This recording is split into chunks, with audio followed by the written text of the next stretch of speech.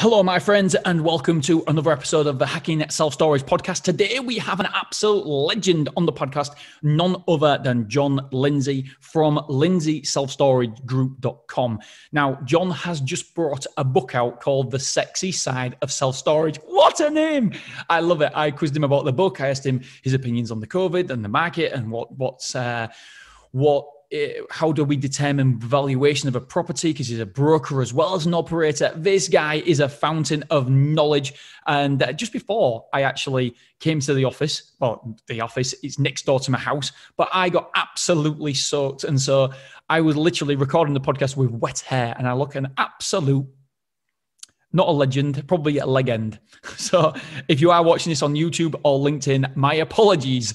Okay, guys, girls, have a listen to John Lindsey because he is phenomenal self storage operator, broker, and just a fountain of knowledge when it comes to self storage. You literally are the average of the five people you spend the most time with, my friends. And having people on the podcast like this is it's so motivating for for me speaking to AJ, speaking to Anne Ballard, speaking to all these legends. I can't obviously not mention Dave Davies.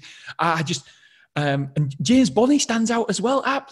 There's Joe Moon. Ah, I just absolutely. I apologize now if I haven't actually mentioned your name and you've been on the podcast. There's just so many people that come on this podcast, and I'm absolutely. Uh, it's just an it's just an honor and a privilege to be part of this industry and part of speaking to you guys and learning from you guys because I always learn something from every single call I'm on. So thanks again, guys. I really appreciate you listening and hopefully you'll enjoy this episode as well. So, uh, any favour ado, here is John Lindsey. Thank you for listening. So, John Lindsey, welcome to the podcast. Thank you so much for coming back on. Thanks for having me, man. Great to see you again. I'm, I feel like we're, we're getting closer and closer to sharing a pint in person as opposed to just sharing the Zoom screen together. Uh, I can't wait. I was just saying before before we actually pressed record, and I was so looking forward to coming to AJ's do um, and well, his his big. Um, convention that he's putting on and I just I just I can't wait to meet everybody in America but unfortunately I was letting you know that if I go to America, then I've got to self isolate for 14 days in a hotel room, and I just I just can't do it. So yeah, mate. Hopefully, very very soon we'll be seeing each other very very soon and sharing that pint. Well, hopefully, maybe we should just have AJ move his event to Portugal, and then you guys can come join. I'm, I'm, down for that. Let's let's let's have a word. Yeah. So, uh, uh, John, I was looking back at the previous podcast. So you was on, and it was around about a year ago. And so for the people who didn't hear that episode, who is John Lindsey, and what do you do, my friend? Yep. So uh, I'm John Lindsey, co-founder and president of Lindsey Self Storage Group. Uh, my family's been in the storage business for 50 years. We have bought, built, sold, brokered, managed stores, everything in between. Um, but in 2012, my brother Alan and I started Lindsey Self Storage Group, and we help owners and operators buy and sell self storage facilities all over the US, Europe, and Asia. That is awesome. Do you still have operate your own facilities as well? Because I remember last time we was on, you actually mentioned to me about owning your own facilities. Correct. So my family still owns about a dozen stores um, so Alan, my brother, really spearheads the operations side of our platform, and he oversees all those. And I tell people, especially in, in the brokerage line of work, how am I supposed to help someone buy and sell storage facilities and understand the intricacies if I've never owned one myself? Uh, oh. It just has always been kind of a silly thing to me. How it's like, how could you have someone sell your house if they've never lived in one? You got to know what to look for at the end of the day. Ah, oh, yeah, I absolutely love that. And just before we go any further on this podcast, I was doing my research today, and I believe mine and your dads are very, very similar. Tough, hardworking guys who never ever stop. And the way you mentioned your dad, that you've never ever seen somebody as hardworking as your dad, and that's exactly the same as my dad as well. And did, did you? Am I right in saying your dad's in his eighties and he still comes to the office every every like four four days out of seven or something? Oh yeah, he's downstairs right now. He turns 87 this year. Uh, we couldn't get rid of him if we tried. I think he will honestly work until the day he dies. He loves it, and it is honestly the one thing that's kept him alive this long. It's so good for him. Yeah, that, that's exactly the same as my dad as well. He just never ever stops. Every time I go around to his house, don't matter if it's nine o'clock in the morning or nine at night, he's always potting around doing something, working. He just he just doesn't stop. Yeah, no, it's honestly it's it's the greatest thing they could do, and honestly, he's a treasure trove of information. He's just this endless encyclopedia of useless storage knowledge that we we we harness when we need it. So uh, it's it's pretty fun to have him around. We love it. Yeah, absolutely. So, how has COVID 19 affected um, your business and uh, has it changed the way you value businesses? You value self storage now in America? So, uh, twofold question. I'd say one, COVID has been really good for self storage across the map. I think we were talking about in the UK and Europe and in the US. Um, any time of uncertainty bodes very well for storage, whether good, bad, people have money, don't have money, remodeling the house, renting instead of owning. They're all times of fluctuation and change. And during COVID, we just saw a lot of that a lot of migrating people, a lot of moving home, a lot of canceled college or you know work from home office things like that so all of that furthered the storage industry and just like 08 to 11 we saw storage just kind of hit the gas pedal last year and then what followed that was all these private equity funds saying wow storage is doing great while my hotel and my movie theater and everything else in between is crashing into the floor. I'm going to pump more money into storage. So now we see all these big private equity funds and hedge funds just chasing storage when we were already at this relative peak of storage. And it just kind of like hit the nitrous boosters and sent us into this next stratosphere. Um, it's crazy. We're seeing record prices, record low cap rates record deal size, record volume. I mean, it's just a wild year. And what's changed for us is like things on the brokerage side just take a little bit longer now because you know a third party appraisal or a site visit or survey just gets a little backlogged but other than that we've been we've been busy as we've ever been yeah, it's fantastic. I think I was talking before, and I've mentioned this on podcast previously, that my sisters are in the wedding industry, and you feel kind of guilty because they're struggling. And obviously, with in with in England, um, people couldn't have weddings for more than thirty people at times, more than sixteen and fifteen people. It's just been crazy. But in self storage, we we hit a bump first of all when COVID was first announced and lockdown first happened. We lost a lot of a lot I've lost a bit of square footage, but after that, straight away, it just came bouncing back. And we've had three years of growth in three months. It's been absolutely incredible for us. Well, and that's I think that initial scare, you know, April, May, we didn't really know what was happening in the world. There yeah. was no direction, a lot of uncertainty. So everyone saw this tick. It was really a rise in accounts receivables that happened. And once we kind of saw that upswing, we have not stopped. It has just been through the roof. You know, once people got comfortable with migrating with masks on and going back to work or Zooms or got settled in their work from home life or kids going back to college, you know, people have found ways to mitigate their circumstances and but storage has just continued to thrive. It's been awesome. And I think again, it's just like just like sin tax items, cigarettes, tobacco, and booze just does really well in times of uncertainty. And it's uh, it's crazy to see it just continue to crush it through one of the most odd times in not only American history but world history. Yeah, it definitely is odd. And has it changed the way you value self storage in America then?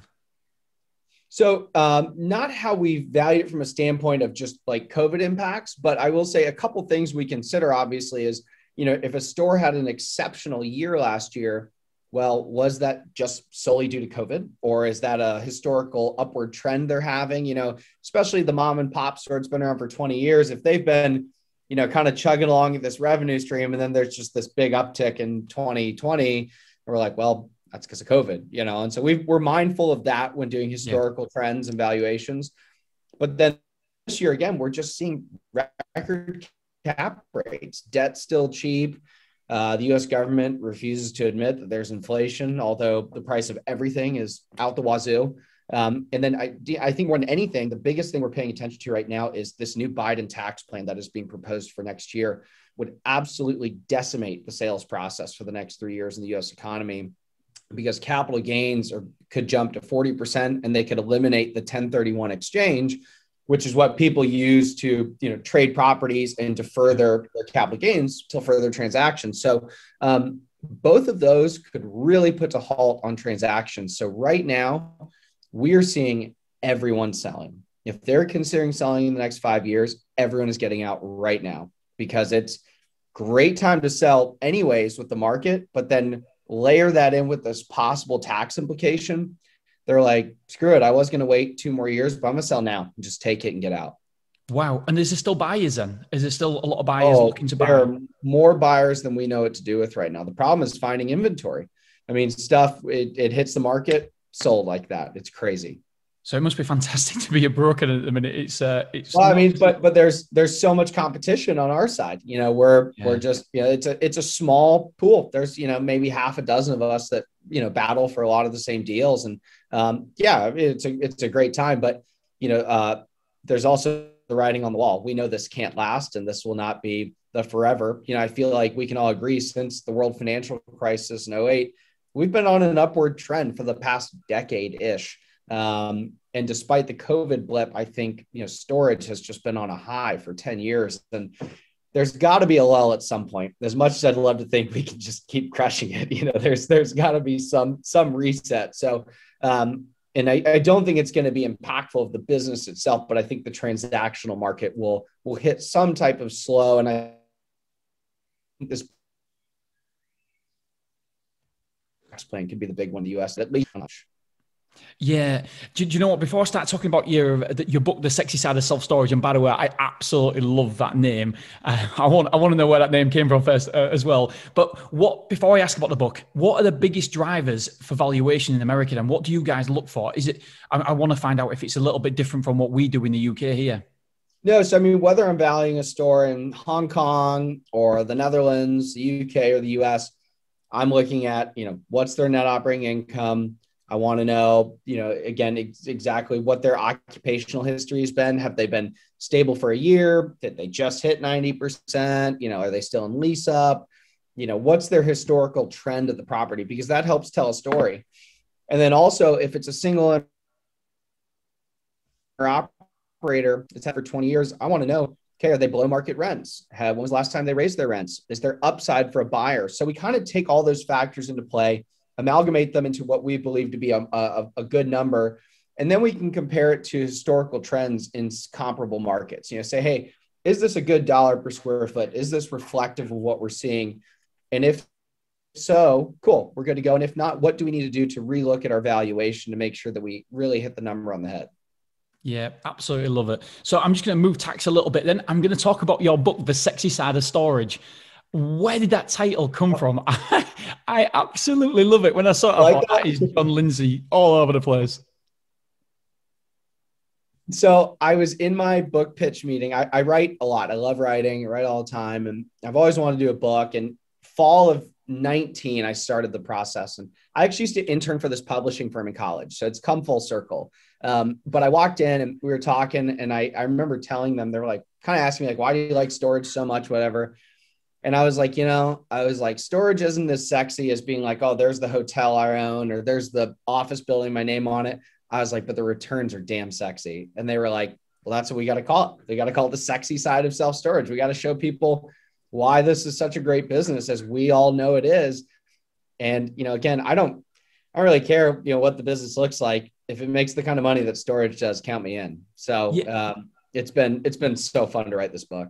Absolutely, and it's also the lifestyle of storage that storage can give you as well. I'm I'm just forever grateful. I think it's a gift that carries on giving. And yes, there's barriers to entry, but for me, storage is sexy. I, I love it. So, what made you write this book then, John? What was the reason behind it?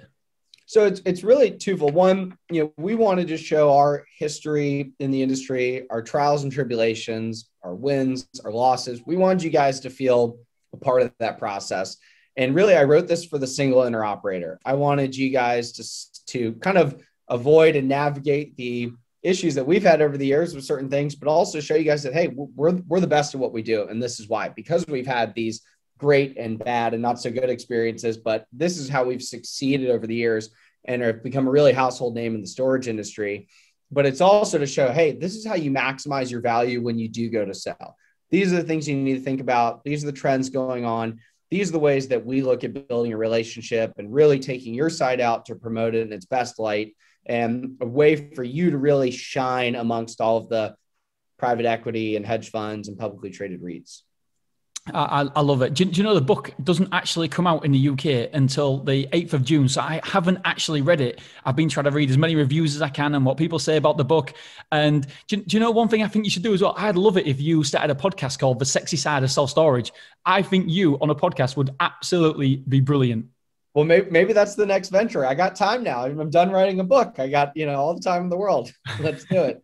How long did it take, by the way, to write this book? So it's actually interesting. I started writing probably about Christmas of 2019 and was like two thirds of the way through when COVID hit. And I was like, oh, that's fine. I'll take a couple weeks off. My routine got thrown. And well, fast forward six months and I had stopped writing for six months. And yeah. I remember it was, uh, I was heading to Thanksgiving with my girlfriend. We were up, we were going to Minnesota to see her family. And she's like, I'm tired of hearing about you not finishing your book. She's like, You're going to sit down and finish this because I want it done by Thanksgiving. She was like, you, I'm tired of it. Just finish. So I sat down over the month of November and finally wrapped it up and got it done and everything. So, but it uh, it was it was fun to get it done. I love what we do. I love storage. I love talking about it. But I think I, like everyone else, we got derailed. COVID was weird. It was yeah. an odd time. People's routines are out the window, and it's it's hard to get that flywheel moving again once you lose the momentum. Yeah. So you actually enjoy the process then, John? Because I've got a couple of friends and some people I've, I've interviewed on another podcast of mine and who, who are authors and they absolutely hated the process, but you sound like you've actually enjoyed it. I loved it. I mean, I write every day. I really enjoy writing. Um, but you know, it's gonna, you know, I'd like some time before I go write another one. It is time consuming, but it is, it is fun to put all these things down. But you know, I've already like the second I got it out, I was like, shoot, I forgot this story, I forgot that. But yeah. I guess I just need to write another book now. You know, yeah. it's time to do another one. Yeah, I, that was my next question. Actually, I've I've heard you write every day. I'll, I'll, listen to a podcast that you was on the other day. And what what do you write about? And is it self storage or is it affirmations or or is Everything. it a journal? Yes, I mean I journal affirmations. Uh, you know, could be just days. It's just just putting pen to paper, whatever comes out, the to do list. I mean, anything that comes out. But it's that process of, of writing every day. And there's a great book called The Miracle Morning by Hal Elrod. And you know, one of his things is is that you know, reading, writing, prayer, affirmation every day, and um, that has certainly become a major part of my life over the past seven years. Yeah, Hal Elrod is an absolute legend, isn't he? What he's come through as well. He's battled some some weird illnesses and in his times, and yeah, he's, he's an absolute legend. Will Will you actually be putting your book out on audio? I always ask so, people. I've I've had a lot of requests for audio and other languages, so we're talking to the publishing firm now about best process for getting that done. It is available on Kindle and in hard copy. Um, and Lisa, I know June 8th is the release date, so everyone's got to patiently wait for a little bit, but it'll be out. Um, but yeah, the next step is to do an audio version and then hopefully translate it in a couple languages. So um, yeah. I'm genuinely looking forward to reading the book because I'm I'm a storage nerd and I I read uh, a heck of a lot anyway. But anything to do with self storage, I've just bought AJ Osborne's book on um, on Audible. I didn't actually know it was an Audible. I Actually, that's a first book in in God, six months or so that I've actually bought uh, a hardback of, and I was reading it, reading it, reading it. I've, re- I've read the whole book, but when I saw an audio, audio, I was like, oh, this is terrific. So yeah, I hope you put yours on there on audio as well. Well, so, we will, and it's and it's great because it not only like I think anyone who's been in the industry could get something from it. You know, newcomers in the industry looking to yeah. get in, existing owner operators, I think will will generate the most out of this book. Um, we talk about everything from you know wins in our process to global trends to everything in between. So I mean, it it's it covers a wide spectrum of topics. But um, if you're in storage and you want to get more, you want to maximize value of your site, you should read this book. Absolutely, and I've read uh, I've read parts of it and looked up parts of it, and part of it you said that the industry is ready for disruption. What do you mean by that, and how can we disrupt this this industry? Because I'm always a big believer in that. I'm I'm, I'm always looking at ways, as Gary Vee says, spend 10% of your time looking at how you're going to put yourself out of business. And so I'm always looking at the new automations that are coming out. I'm looking for the new trends. And that, that line there really caught my eye because how, how can we disrupt this industry? What, what's going on there then? So I'll tell you, I, I was on a Zoom this morning at 6 a.m. with um, the Asian Self Storage Association. And then I told them flat out, I said, I've never seen such cool tech as I have at the projects we've worked on in Asia, whether it's Hong Kong, Beijing, Singapore, you name it. They just decimate the rest of the world in technology. I mean, they they can open a, a unit with a QR code and an app from thousand miles away, or they have thumbprint scans to get in their facility, and you know all their stuff's automated. And this, I mean, it's just it's awesome, and we're starting to see that in the U.S. There are great companies like like Red Dot and 10 Federal have come out with you know, fully automated storage platforms. And we've seen groups like uh, Store Local and Tenant Inc. coming out with their new Hummingbird platform, which is, I think, the future as far as you know operation software is concerned and allows owners to, to really own and control their own data. Uh, Janus came out with their no key system. You know, you can get into the facility with just the swipe of the phone and things like that are awesome. But every time I go to Asia, I'm just wowed at how well they operate that. And it's funny because they're a bit backwards from the US. They're still figuring out their whole real estate game and no one really owns their buildings and you can get kicked out of your leases really early, but they're so much better on tech than we are. And so I think there's some disruption to be had with that. And over the past three to five years, we've seen some really cool new products come out, some big acquisitions, some big roll ups, you know, especially with the storable roll up with SiteLink and storEDGE. And there's just been a lot of amalgamation, but I'm, I haven't really seen that one boom moment yet that says, wow, this has turned the industry upside down. And, and I too, like you, I'm waiting for it. It's got to come soon because um, we're on the cusp. There's too much money being dumped in this industry for someone to not come through and totally rock everything. Uh, I love I love the fact that people like you, people like AJ, people like Travis Morrow, we're always looking at ways this industry is going to be disrupted because obviously with the hotel industry and Airbnb, you, you've got that at the back of your mind because I just think it's so good as the industry, and I don't want to be on the wrong side of any technology, any disruption. And so we're actually, uh, obviously, I did a debate with Travis um, at the conference, European conference about automation. We're actually opening our first manless facility this year as well. Uh, it's a new build. It's going to be absolutely fantastic, completely manless. Or when I say completely manless, of course there'll be people tidying up, you know, going cleaning, etc., uh, making sure that there's no there's no no problems inside the units, etc. But yeah, in essence, it's a manless facility. So we're really, really looking forward to that. So in terms of disruption, then you believe it'll come in the form of technology? Correct. I mean, I I would be hard pressed to find, you know, uh, you know, unlike for instance, you know, we used to store files at our office, and now there's this huge online, you know, data storage platform. You can't physically condense someone's goods in their unit and put it online. You just there's no replacement for that. Period. Yep you know, and I don't think Valet will ever replace the storage business. I think Valet I is a nice supplemental business. Um, so I think, okay, people are going to look for ways to streamline and save money and make the business more efficient. How do they do that? One of the biggest overheads, unfortunately, is staff. Now, I still debate, you know, whether I can see benefits to both sides. I, I still am a, I'm a people person. People come in to rent a unit, you know, death, divorce, downsize. They need to have their hand held and walk through. But there's also markets where I say, nope, just automate it. That's all you need there. So I, I can see both sides depending on where you are and what you're looking to accomplish. And, and we've we've sold a number of products in both realms, and we think they're they both have value. But I think tech is the one thing that is continue to to really accelerate this industry because I remember when I first got in in 2012, up until even a couple years ago, I'd go to and they'd someone be giving a, a, a, speech on like how to set up your business Facebook page, and I'm like, as a millennial, I'm like, Facebook was out like 10 years ago. What are you guys doing? You know, I mean, it's just like I felt like storage has always been on a bit of a lag to normal tech trends. Um, so it's cool to see this massive influx of tech hitting the storage space now. Yeah, absolutely. I, I completely agree with you as well because we've we've got a big uh, facility, well, big compared to our standards. We've got over 500 units, and I don't believe that can ever be manless. And the the site we're opening that's going to be manless is only going to have 200 units. So for me, it's it's kind of the size.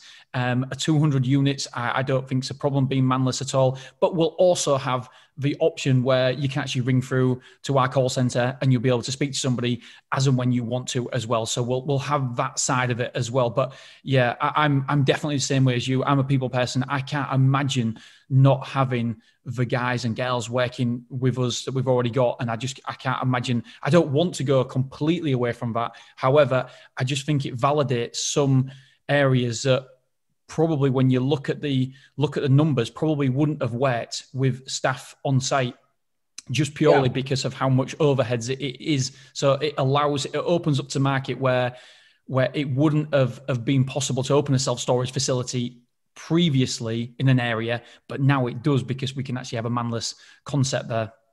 Well, I think too, like we've seen a lot of companies like um, Stories and 10 Federal and Red Dot, you know, if they open uh, like a smaller lot where you wouldn't have been able to build an office and have it staffed for a 15,000 square foot facility in the US. Well, now you slap a kiosk in there and you can, you know, FaceTime with a home office somewhere. all of a sudden you can maximize that one acre in the great location and actually make it a viable storage product because you save 40 grand a year on staff. So yeah. you, you don't have plumbing, you don't have to build an office. And like all of a sudden, we're seeing a whole new wide array of storage facilities becoming viable builds. Um, but again, like that's cool, but I don't think that is is disrupting the space yet. I'm waiting for the the Airbnb essentially of storage to come in and and make us all say, "Oh no, we should pay attention to this." Yeah, what, what do you think to the guys, by the way? Because the guys who, um, or some somebody something to do with Airbnb, they've actually started something to do in, in the self storage industry, haven't they, in America? Are you aware of? Yeah, there's a lot of there's a neighbor and Sparefoot. Yes, neighbor, yeah. There's been a lot of you know third party aggregators, and that's great. And there's a huge place for that in the industry, and some owners love it, some don't. You know, it works well for others, just like automated's good for some, not for others. Um, and it's been impactful, but I will I I don't think I would say it has uprooted the industry and turned it on its head. It has not made storage obsolete. It is a facilitator of storage facilities, and they happen to make a lot of money in the process. Versus Airbnb has totally ripped away from the hotel industry. It is it has provided an alternative to hotel, whereas you know the aggregators just make money off of continuing to rent storage units. So until there is another solution for physically storing 200 square feet worth of goods in a storage facility, um, I know I'm gonna stay. I'm gonna stick on storage. That's where my money is. Yeah, you also mentioned in your book storage properties are recession-proof commodity with value-add opportunities right for buyers. Now that really gets my juices going because it's the value-add opportunities that get me so excited. For somebody who's sitting on the fence right now, because we've I've been on a lot of uh, real estate podcasts recently, and so we've got a lot of people that are new to self-storage listening to this. Would you still recommend it's a good time to get in the industry? And why is self-storage such a good industry to be to be involved in? So i'll tell you it depends what your return thresholds are and what your timeline is. Now if you want to get in and out in in one to three years now is not a good time to be buying storage because you're buying at a very relative peak and it's tough because it's tough to to say no because debt is just so cheap right now and you're like man great time to get in. Economy's going. I'm liquid. Debt's cheap. Let's buy it. Well, I just don't see there being a better seller market in the next three years than we have right now. Period. I, I think we can all we are at this relative peak, and unless we go to like a negative interest rate environment, I just I don't know how much lower you can get stateside than where we are now.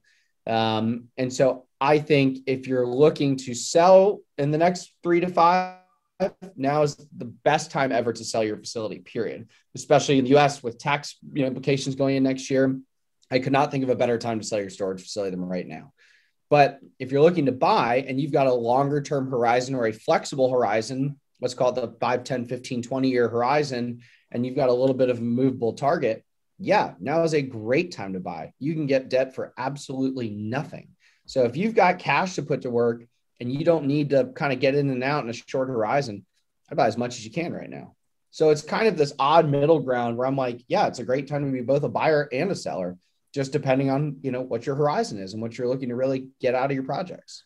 John, do you know what? I think that's one of the best answers I've ever heard for that, and full respect for it because it just depends. It depends on your circumstances. As soon as you said it, I was like, "Oh my god, that is so good." And for, for, me, storage, um, because a lot of my friends uh, see or, or the perceive how easy self storage is when there's a lot of there's a lot there's a lot more to it than than it than than it looks, I suppose, from the outside. Uh, but not really too many moving parts. I always say to my friends that yeah, storage is fantastic, but if you're looking to get rich quick, this is not the industry for you. It will always always guarantee you to get wealthy long term, but it'll never ever do it quickly.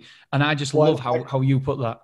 I could not agree more. And I tell people all the time, storage is like batting singles every time. Your batting average is going to be great and you're going to crush it, but like don't expect to go hit a home run on every deal. But you'll get on base every time. You'll you'll hit your returns, you'll clip coupons, you'll just move through. And if you want to make money over the long term and build wealth, build generational wealth, storage is is the game for you. But if you want to have the sexy pump and dump in and out in one to three, it's a dangerous game to play in this industry. Ah, yeah, I couldn't agree more. That is awesome. So, how how was the sales, by the way, gone of the uh, of your book so far, the sexy side of self storage? Well, we we pre-sold out the first round. Amazon just brought in some wow. more, so Yeah, so we're uh, I think they're just got restocked. So go go order a book before they sell out again. I've already pre-ordered mine, buddy. I can't wait till June 8th comes along. we're looking forward to it, man. And like I said, I've I've had requests to do it in a couple other languages. So once we kind of get to that next step and get a few more fulfillments, we'll do that. Uh, like on our Asia thing this morning, I, I can't keep up with the number of, of language requests we've had. I think we'll probably end up doing a Mandarin, a Japanese, and maybe like a Spanish version. But other than that, uh, got to stick to the English for now. Do, do, you know what? I, I, am so so excited about reading this book because uh, I think you're a fountain of knowledge in the industry, buddy. And what you don't know about self storage isn't worth knowing. So uh, the fact that you go into the ups and the downs as well, I just think it's going to be thoroughly entertaining. And I love the title as well. So everybody, go and get your copy, "The Sexy Side of Self Storage." John, if people want to find out more about you, where would they go, my friend? Yes, so you can go to our website, lindseyselfstoragegroup.com. You can always email me directly, john at lindseyselfstoragegroup.com. Uh, that's L A N D S E Y. And if you're on WhatsApp, you're a national, feel free to hit me up. It's 1 919 381 7799. Yeah, do, do, you know what? We almost fifty percent of our listeners are actually in America. Would you believe it or not? Considering it's yeah. a, uh, a UK self storage podcast. It's incredible. So, Jojo, my virtual assistant, if you could put all them links in the show notes, that will be tremendous.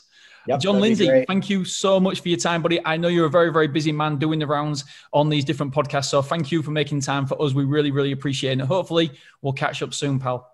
Hey, thanks for hosting, man. Looking forward to it.